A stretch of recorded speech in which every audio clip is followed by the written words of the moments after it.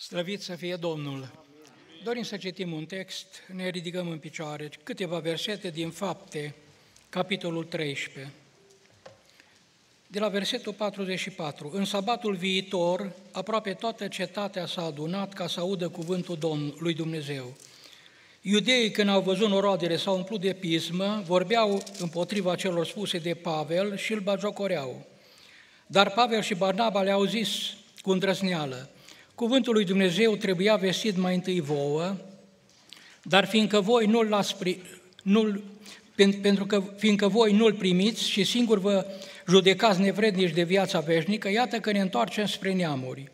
Căci așa ne-a poruncit Domnul, te-am pus ca să fii lumina neamurilor, să duci mântuirea până la marginile pământului. Neamurile se bucurau când au auzit lucrul acesta și preamăreau cuvântul Domnului și toți cei ce erau rânduiți să capete viața veșnică au crezut. Cuvântul Domnului se răspândea în toată țara, amin. amin. Se pot ocupa locurile. Dragii mei, mântuirea este problema cea mai mare. Dacă cumva pierde mântuirea, am pierdut totul. Aia înseamnă să pierzi viața veșnică și Biblia spune pentru cel neprihănit, cărarea vieții duce în sus, ca să-l abată de la locuința morților care este în jos. Domnul Iisus spunea în cuvintele Lui aici în Matei, în capitolul 11, versetul 12, din zilele lui Ioan Botezătorul până acum împărăția cerurilor se ia cu năvală și cei ce dau năvală pun mâna pe ea, pe împărăție. Cei ce dau năvală, cei ce sunt interesați de viața veșnică, cei ce o doresc. Să știți că nimeni din întâmplare nu va ajunge în împărăția cerurilor. Accidental, că nu s-o gândit, nu o vrut, nu o dorit. Așa ceva nu va fi niciodată. În împărăție vor ajunge cei care aici o doresc, o caută, îl doresc pe Domnul să apropie de El. Spune în Faptele Apostolilor, foarte frumos aici, în capitolul 10, spune aici versetul 34, atunci Petru a început să vorbească și a zis, în adevăr văd că Dumnezeu nu este părtinitor, ci că în orice neam cine se teme de El și lucrează neprienirea este primit de El. El a trimis cuvântul său fiilor lui Israel și le-a vestit Evanghelia păcii prin Isus Hristos, care este Domnul tuturor. Dar pentru că ei singuri s-au socotit nevrednici de împărăție, Domnul s-a întors spre neamuri. De la Ioan Botezătorul, împărăția cerurilor se ia cu năvală. Spune Biblia că mulți vor veni în ziua aceea și vor sta la masă împreună cu Avram, Isaac și Iacov în împărăția lui Dumnezeu. Iar fiii împărăției vor fi scoși afară. Putem parafraza fiii bisericii. Fiii de ai bisericii, nu e suficient să fii numai fiul al bisericii. Nu e suficient ca tata și mama să fie credincios, nu-mi garantează mântuirea fiecare. Personal trebuie să apropie de Dumnezeu. De aceea, în această zi, Domnul vrea să ne vorbească, vrea să ne conștientizeze de această lucrare cerință înaltă pe care Domnul o are pentru noi. În mod special mă voi opri la versetul 48, zice, neamurile se bucurau când au auzit lucrul acesta și preamăreau cuvântul Domnului și toți cei ce erau rânduiți să capete viața veșnică au crezut. Există oameni rânduiți, predestinați? Nu există așa ceva. Nu există predestinație, asta sigur este o învățătură falsă. Pe viața mea zice Domnul că nu doresc moartea păcătosului, ci doresc ca păcătosul, omul, să se întoarcă la Dumnezeu, ca să aibă viață. Adevărul este că Dumnezeu este lucrător împreună cu omul. Omul își are partea lui, omenescul, dar supranaturalul îl face Dumnezeu. Minunea este a celui prea înalt. El dă mântuire, El lucrează, El cercetează. Vedeți, vedeți aici pe bănci, așa cum stăm, Domnul cercetează inimile noastre și vede ce este înăuntru nostru, gândurile care le avem. El judecă până și gândurile inimii. Iată, el vine, plata cu este cu el și răsplătirile merg înaintea lui. El va spune omului până și gândurile lui și alea sunt consemnate. Sunt în evidența celui prea înalt. De aceea aș vrea să nu uităm, dragii mei, Domnul ne dorește binele. Și mereu înțeleg tot mai mult, nimeni nu ne dorește binele mai mult decât Dumnezeu. Nu există cineva care să ne dorească binele mai mult decât îl dorește Domnul. El ne dorește binele absolut. Dar sigur, asta și funcție de noi, cum ne deschidem pentru El. Modul în care noi suntem gata să-L acceptăm, să-L primim. Să știți că mulți pe parcursul timpului s-au încurcat cu aceste versete și altele legate în această direcție. Și toți cei ce erau rânduiți, am vrea în această zi, după masă, să vedem care sunt cei rânduiți.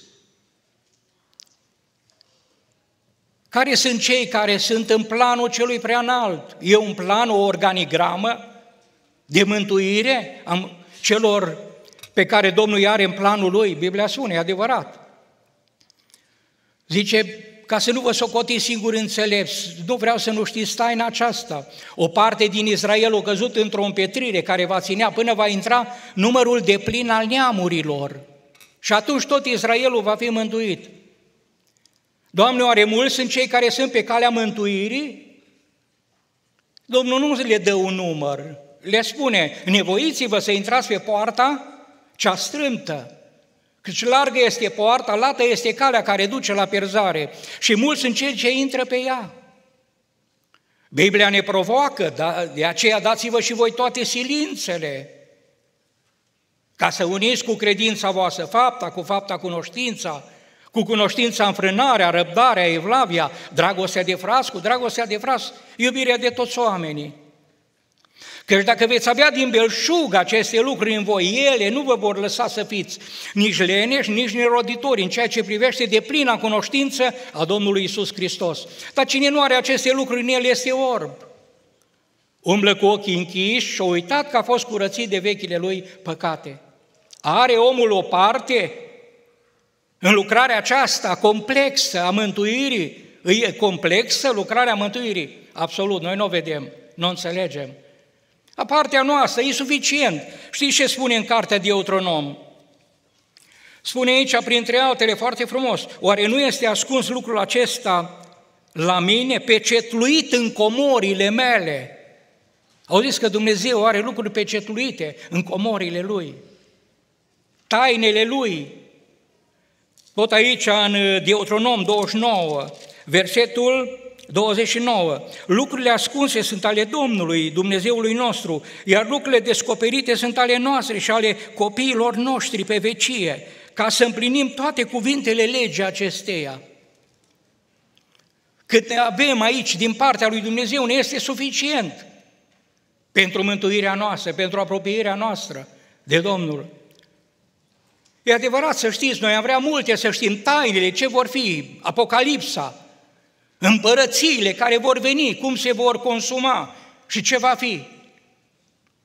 Dar aș vrea să spun, nu asta e pe prim plan. Pe prim plan este să trăiesc în fiecare zi, după voia Lui, să fiu plăcut Lui, să fiu pe, ca, pe poarta strâmtă, pe calea îngustă. Nu e vorba aici de poarta aceasta pe care am intrat în Biserica Betania. E o alta spirituală la care se referă.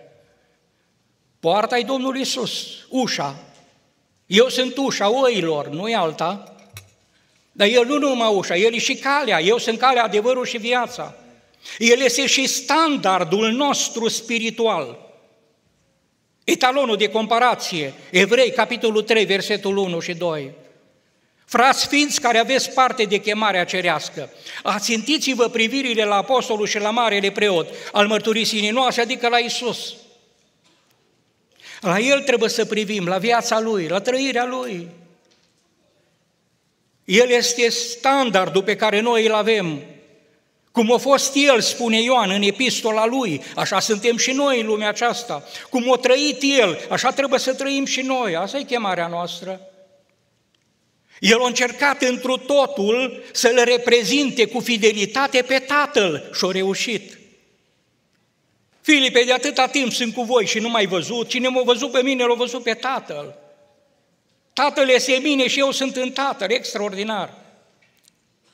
Cum o trimis pe mine Tatăl, așa vă trimit și eu pe voi. Așa ne trimite Domnul pe noi.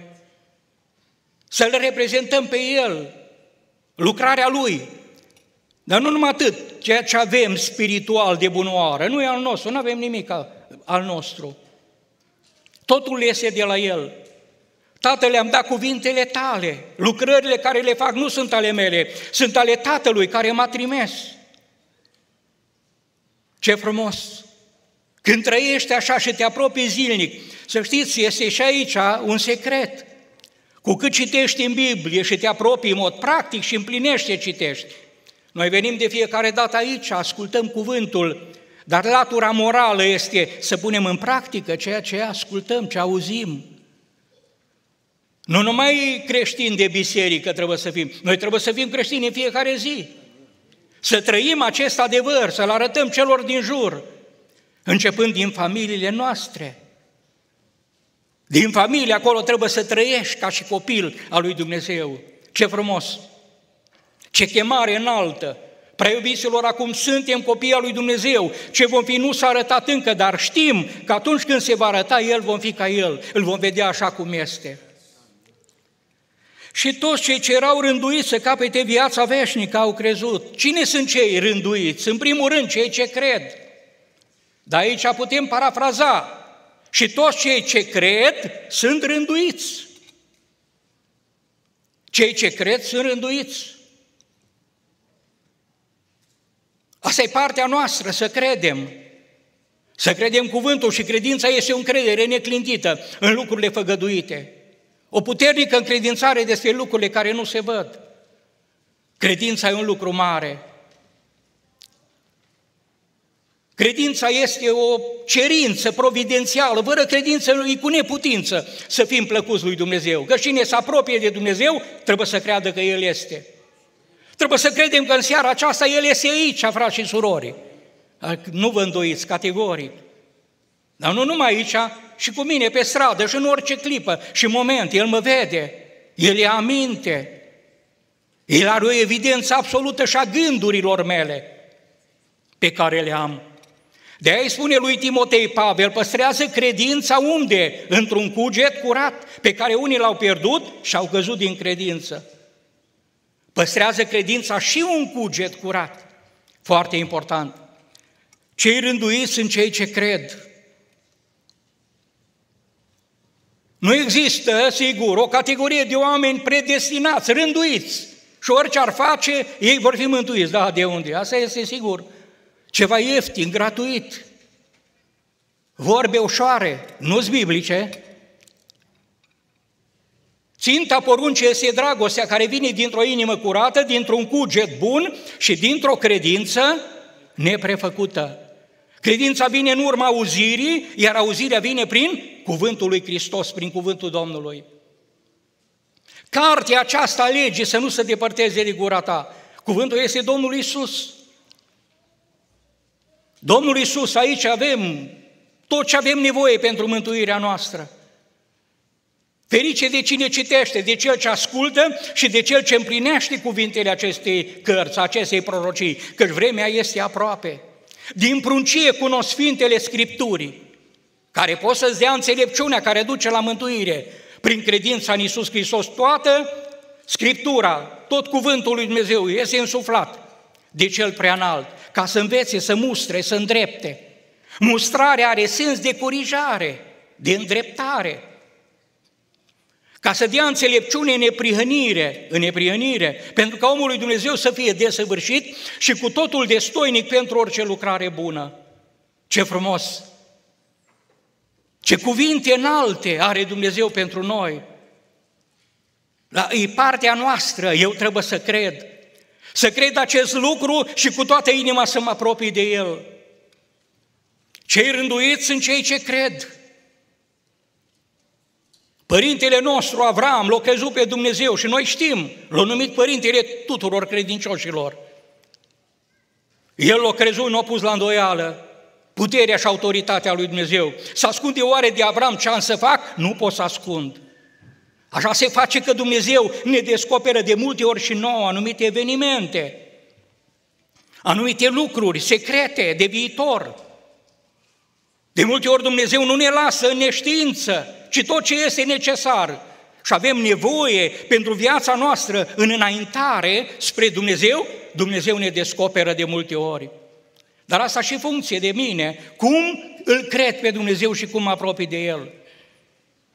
Credința este un lucru mare și doresc dincolo de toate, Doamne, umple-ne de credință.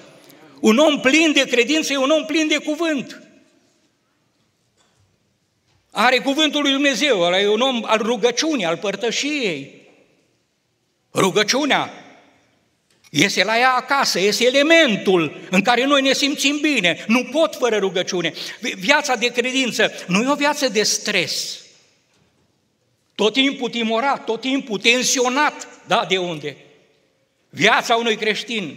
Toate lucrurile sunt îngăduite, dar nu toate sunt de folos.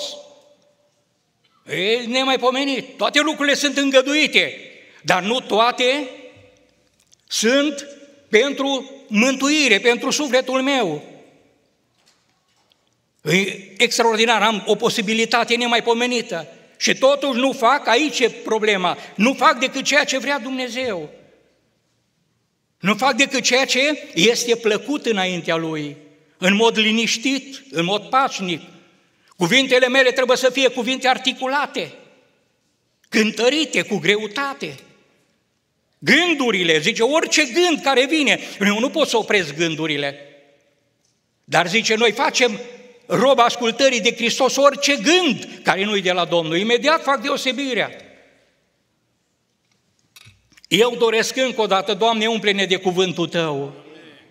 Mărește-ne credința și ajută-ne să rămânem ancorați în cuvântul Tău. Fără credință e cu neputință să fim plăcut lui Dumnezeu.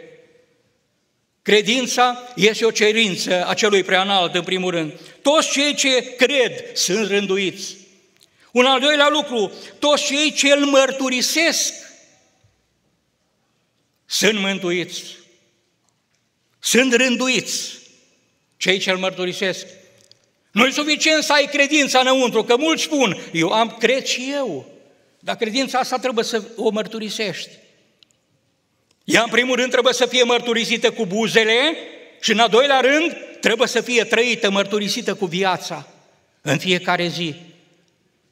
Prin credința din inimă să capătă neprienirea și prin mărturisirea cu gura să ajunge la mântuire.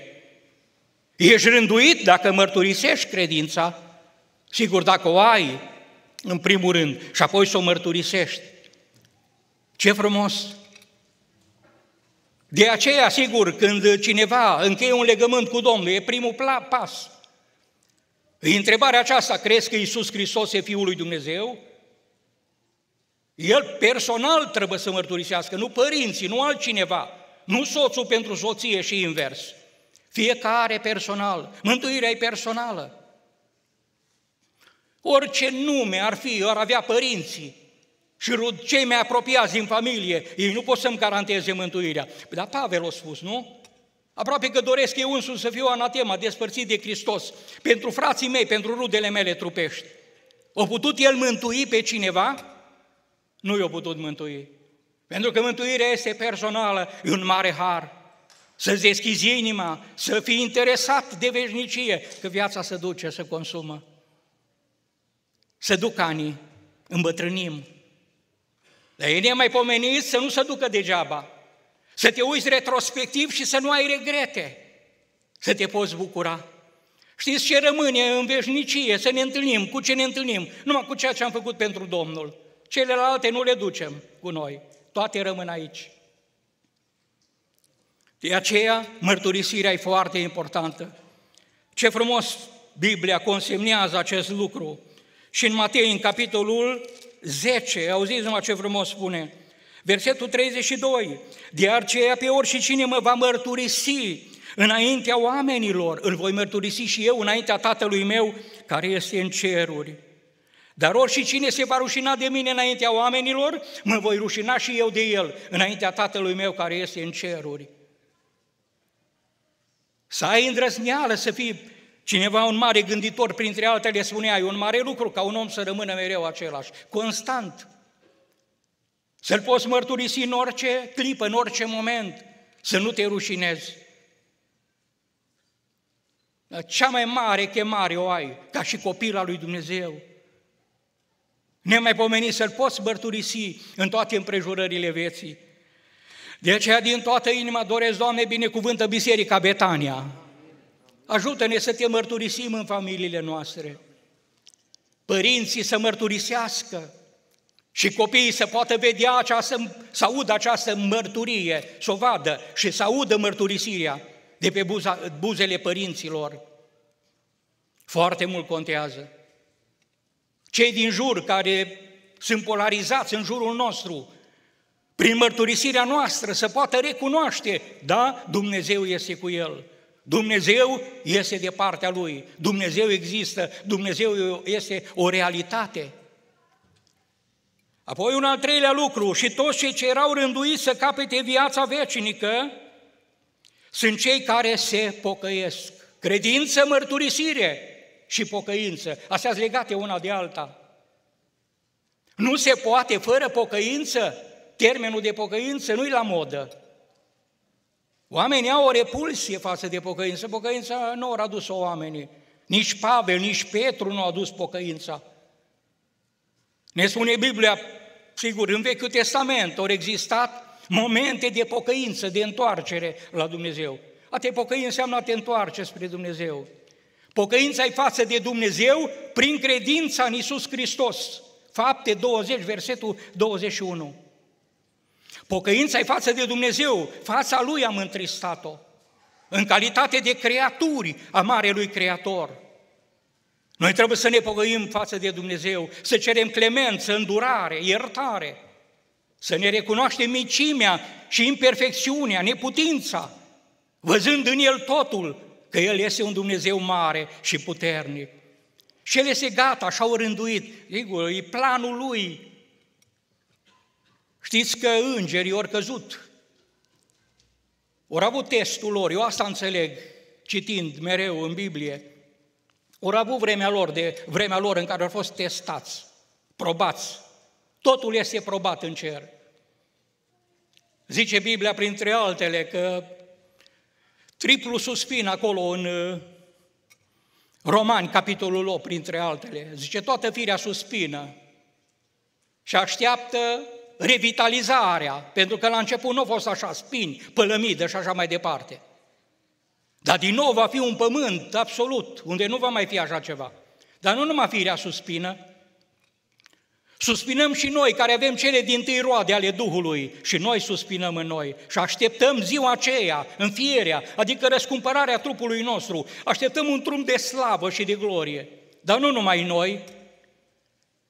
Spune acolo în Efeseni, în capitolul 5, versetul 20, zice că și Duhul suspină, se roagă cu suspine negrăite înaintea celui preanal, mijlocește cu suspine negrăite. Până și Duhul, tot ce este sub cer suspină. Totul este, totul este încercat, probat. Îngerii au avut vremea lor de probă. Nu știu, omul nu a fost creat atunci. Și ori căzut, cei căzuți sunt cei care sunt în gherle, prinși, în temniță, închiși, în lanțuri, întemnițați și păstrați pentru o sândă. Unii sunt liberi și sunt în duhuri necurate. Nu știm numărul lor și când a fost asta, dar știm un lucru, că Domnul l-a creat pe om. Omul este probat în viața asta. Aici e proba omului, cântarul. Aici Domnul ne verifică, ne probează. Cine trece de proba aceasta și ajunge în veșnicie, pentru totdeauna va fi cu Dumnezeu în prezența Lui. Acolo nu vor mai fi probe pentru cei mântuiți. Ei vor fi pentru totdeauna cu Domnul, ca și Domnul, în slavă și în glorie. Doamne, ajută-ne să ne pocăim aici. Cineva spunea că iadul este pavat cu cele mai nobile și bune intenții. Adică parafrazat, gânduri de căință, încă o dată, dacă aș mai fi în viață, m-aș pocăi și aș tardiv, târziu, nu mai poți întoarce timpul înapoi. Mi-a fost dată viața aceasta în care să o trăiesc pentru El, în care să mă apropii de Dumnezeu, în care să împlinesc voia Lui, cuvântul Lui. Ce frumos! Pocăința este un lucru mare. Dumnezeu nu ține cont de vremurile de neștiință. Și poruncește tuturor oamenilor de pretutindeni să se pocăiască. Pentru că a rânduit o zi în care va judeca lumea după dreptate, prin omul Iisus Hristos, despre care a dat tuturor oamenilor o dovadă de netăgăduit prin faptul că l-a înviat din morți. Poruncește și o poruncă. Ce frumos! O rânduit Dumnezeu filiera aceasta, El o rânduit-o. Și prin această poartă strâmtă, cale îngustă, noi să ajungem la El.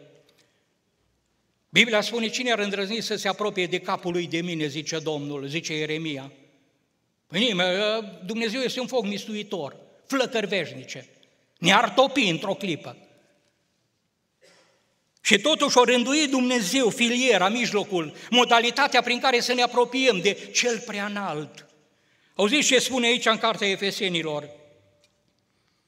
Capitolul 2, versetul 18 căci prin El, prin Domnul Isus și unii și alții avem intrare la Tatăl într-un Duh. Eu, în calitate de copil al Lui, mă rog și rugăciunea mea ajunge până la Cel prea înalt. Eu mă rog în numele Domnului, chem numele Lui. Sigur, în contextul în care m-am întors, sunt pocăit și din toată inima urmăresc pocăința, o caut în continuare. Auziți ce spune versetul 13? Dar acum, în Hristos Iisus, voi care odinioară erați depărtați, ați fost apropiați prin sângele lui Hristos. Iar versetul 12 din capitolul 3, în El, în Domnul Iisus, avem prin credința în El slobozenia și apropierea de Dumnezeu cu încredere, de Cel prea înalt. Și știți ce a spus Domnul Iisus? Că noi suntem în mâna Lui, în mâna Celui prea înalt. Și din mâna Lui nu ne poate smulge nimeni. El este mai mare decât toți. Nimeni nu e mai mare ca și Cel prea înalt, ca Dumnezeu. Și noi suntem mai Lui, suntem în mâna Lui. Doamne, binecuvântă Biserica Betania cu pocăință. Acum noi ne-am pocăit, dar mai trebuie pocăință, da, absolut. Pocăința e toată viața. E prezentul continuu. Noi trebuie tot timpul, în toate stările noastre, o apropiere constantă de Dumnezeu în fiecare zi. Zice că mai bun e sfârșitul unui lucru decât începutul lui. Uitați-vă la sfârșitul felului lor de viețuire și urmați-le credința, urmați-le viața. Modul în care au suferit, modul în care au trăit și modul în care au sfârșit lucrarea aici pe pământ.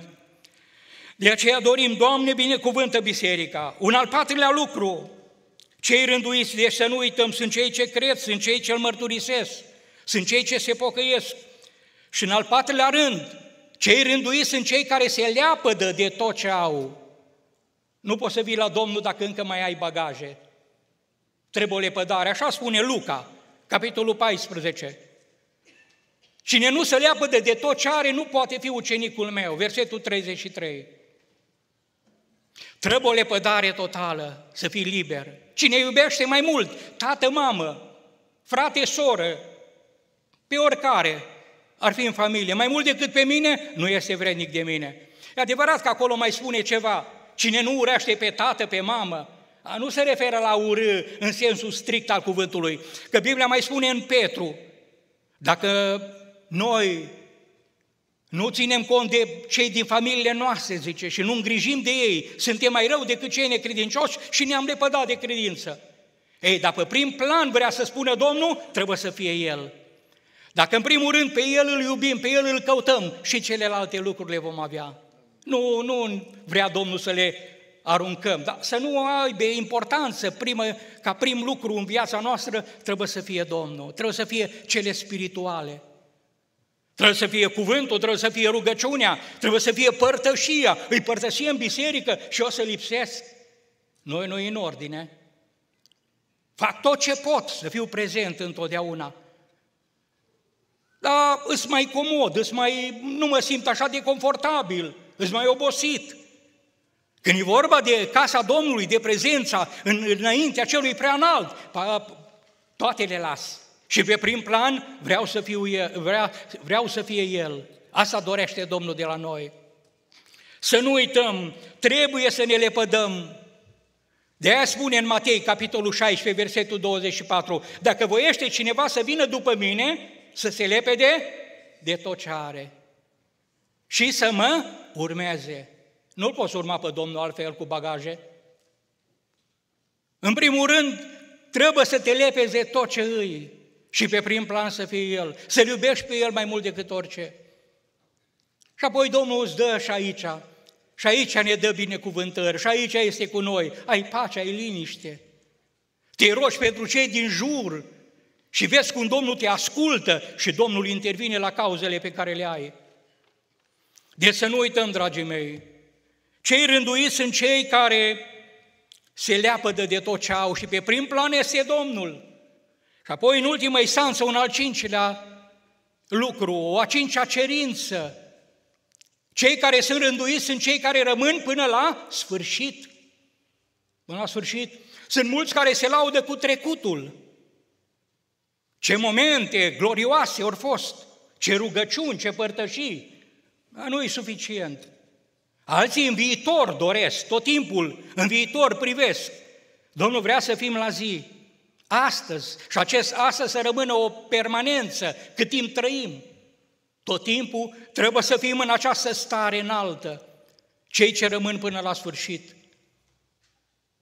cei ce rabdă până la sfârșit, cei ce se încred în Dumnezeu până la sfârșit, cei care nu obosesc, așa cum spune aici în Corinteni, în 2 Corinteni, în capitolul 4 ne spune aici Apostolul Pavel, de aceea, fiindcă avem slujba aceasta după îndurarea pe care am căpătat-o, noi nu cădem de oboseală. Și ca unii care am lepădat meșteșugirile rușinoase și ascunse, nu umblăm cu vicleșug și nu stricăm cuvântul lui Dumnezeu. Ce frumos să nu cazi de oboseală, să o lași mai încet cu trăirea, cu părtășia, cu viața spirituală. Diavolul are acces. Și el vine cu problemele lui și ne aglomerează. Problemele sunt multe, dar să le poți tria, să știi ce este important și ce este urgent și să faci deosebire între una și alta. Lucrurile importante sunt cele ale lui Dumnezeu, mântuirea și tot ce e legat de mântuire. Vor fi și lucruri urgente. Domnul știe că avem familie aici. Categoric. Noi trebuie să ne îngrijim și de familiile noastre. La toate și-au timpul lor, locul lor. Să poți drămui timpul în așa manieră încât toate lucrurile să fie în rânduială. Chiar dacă sunt departe cu trupul, cu Duhul, sunt cu voi, spunea Pavel, și privesc cu bucurie la buna rânduială care domnește între voi și în familiile noastre. El privește la buna rânduială. Ca și în toate bisericile Sfinților, spune în altă parte. Domnul este Cel ce totul, toate le are în vedere, le are în obiectivul Lui și toate sunt înregistrate de El. Eu închei și doresc din toată inima pentru Biserica Betel, Doamne, binecu- pentru Biserica Betania, Doamne, binecuvântul. Să binecuvinteze Domnul și Biserica Betel din Arad. Noi am avut azi dimineață un botez acolo, s-au botezat mulți, o sărbătoare. Dorim, Doamne, ce dorim, împreună cu toți cei dragi ai noștri, în ziua aceea să ne putem întâlni cu Tine în veșnicie, dar și cu ei, să nu lipsească la numărătoare niciunul din cei care ne aparțin. Pentru asta trebuie să ne luptăm. Dacă ne facem partea, Domnul promite că își face și El partea. El ne ascultă și El ne ajută. Binecuvântarea și salutul fraților din Betel, din Arad, este din Cronici, capitolul 15, versetul 7. Voi, dar, întăriți-vă și nu lăsați să vă slăbească mâinile, căci faptele voastre vor avea o răsplată. Și dorim răsplata să fie din plin din partea Domnului oștirilor. Amin.